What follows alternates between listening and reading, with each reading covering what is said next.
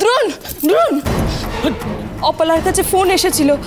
মনে হয় দিদির অ্যাক্সিডেন্ট হয়েছে।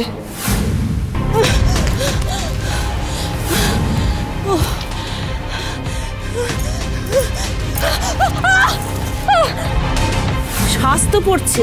সামনেই তো ডাক্তারের বাড়ি। ওখানেই নিয়ে যাই।